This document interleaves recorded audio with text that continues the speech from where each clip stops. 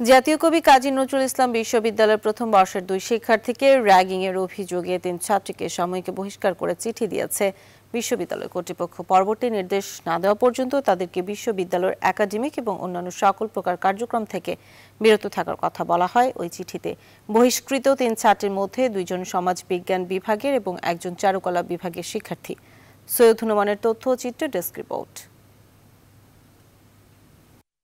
বৃহস্পতিবার রাতে বিশ্ববিদ্যালয়ের পাশের একটি ছাত্রীবাসে প্রথম বর্ষের দুই শিক্ষার্থীকে র্যাগিংয়ের নামে নির্যাতন করা হয় বলে অভিযোগ উঠে সমাজ বিজ্ঞান ও চারুকলা বিভাগের তিন শিক্ষার্থীর বিরুদ্ধে। র্যাগিংয়ের ফলে অসুস্থ হয়ে পড়ে প্রথম বর্ষের দুই শিক্ষার্থী। পরে তাদেরকে ত্রিশাল উপজেলার স্বাস্থ্য কমপ্লেক্স ও পরে ময়মনসিংহ মেডিকেল কলেজ হাসপাতালে ভর্তি করা হয়।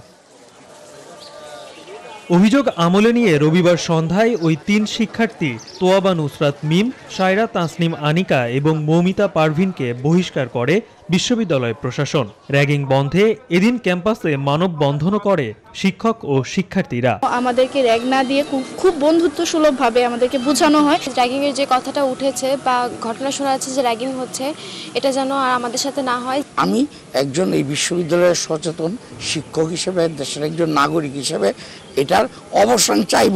র্যাগিংয়ের নামে এমন নির্যাতনের ঘটনাকে বর্বর উল্লেখ করেন বিশ্ববিদ্যালয় উপাচার্য। এটা এক ধরনের অসভ্যতা এবং বর্বরতা।